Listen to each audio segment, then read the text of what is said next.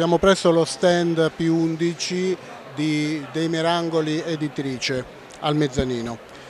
Siamo insieme al professor Franco Dintino e a Diego Martina. Il professor Franco Dintino è il prefatore eh, di un volume che tra poco andremo a conoscere. Eh, professore, ci vuole dire, ci fa una sua breve presentazione e ci racconta perché ha concesso di, ehm, di, mm, di, fare da prefatore a questo, a questo volume che la prego di prendere e di mostrare in camera. Grazie. Sì, beh, diciamo l'occasione, ho, ho insegnato per tanti anni nella facoltà di studi orientali alla Sapienza, letteratura italiana, però sono venuto in contatto con eh, con la cultura giapponese, con la letteratura giapponese che mi ha subito affascinato, insomma, mi ha sempre affascinato.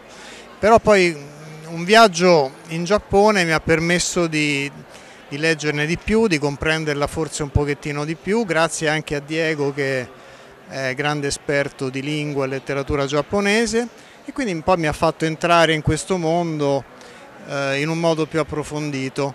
Poi mi ha fatto leggere questa raccolta che mi è sembrata molto bella, molto affascinante e, e così ho pensato di scrivere le mie impressioni di, di lettore, di critico occidentale di fronte ad un fenomeno così diverso ma così eh, affascinante come questa poesia breve, apparentemente molto semplice ma anche molto profonda. Diego, intanto lei ha tradotto dal giapponese, quindi lei conosce il giapponese. Perché Diego lei conosce il giapponese?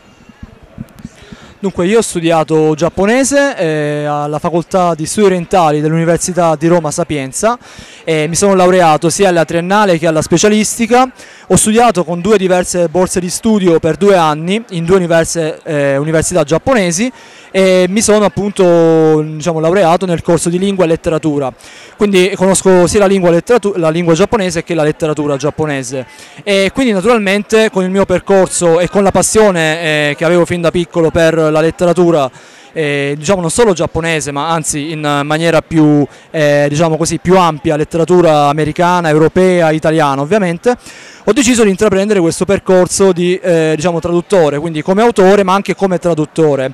In realtà questo è già il mio quarto volume di traduzioni di poesia giapponese, eh, ho pubblicato, tradotto e pubblicato ormai diversi anni fa il volume di Tanikawa Shuntaro che è il più famoso poeta giapponese vivente ed è un poeta non di haiku, di poesia breve giapponese ma di poesia moderna in versi sciolti, poesia lunga potremmo dire.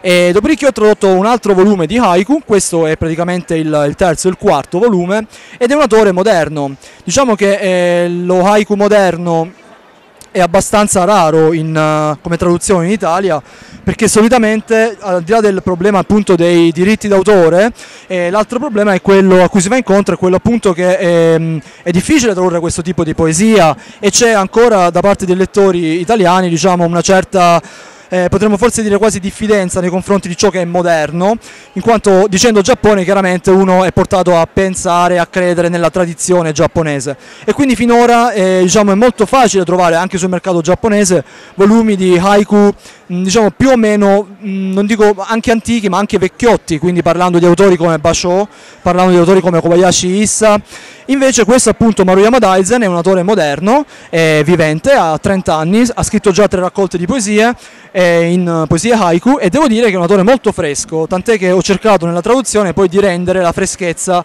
eh, dei, propri, dei propri versi, sperando appunto di esserci riuscito.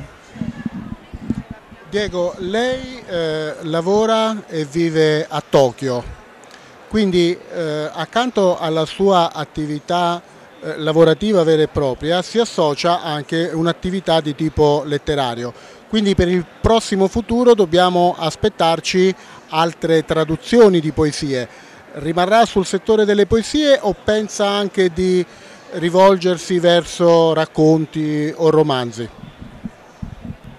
Sì, io traduco in italiano e pubblico in Italia, ma sono anche attivo sul, eh, diciamo sul, piano letterario giapponese, in Giappone, scrivendo anche poesie in lingua giapponese.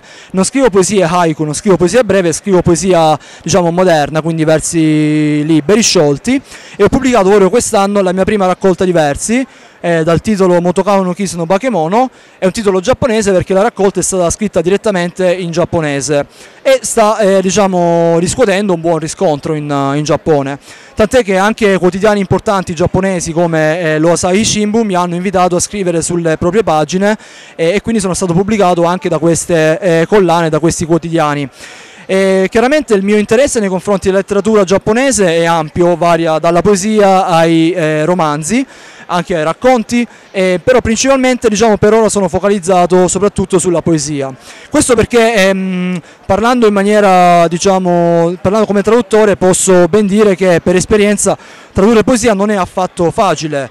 Ehm, in un certo senso bisogna essere poeti, si dice, per tradurre poesia. Per me è sempre una sfida riuscire a rendere in italiano ciò che la lingua giapponese eh, rende poi in maniera molto spontanea. In italiano c'è sempre una, una perdita di un eh, in traduzione una perdita di, non tanto di significato quanto di atmosfera. Invece nel mio caso riuscire proprio a rendere non solo chiaramente il testo giapponese, ma il, quindi il significato del testo giapponese, ma anche l'atmosfera la, del testo è sempre una sfida che mi spinge a tradurre e a fare meglio. Quindi diciamo che per il momento credo di restare soprattutto fermo sulla traduzione di poesie. Ho altri due volumi pronti, eh, uno di Tanikawa Shuntaro e l'altro di un autore enorme della letteratura giapponese, di cui però per questioni diciamo... Ehm, eh, non di segretezza, ma al momento non mi va ancora di, di, rendere noto il nome. Comunque spero nel prossimo anno di riuscire a tradurre anche questi, a pubblicare questi due volumi eh, in Italia, in italiano. Speriamo.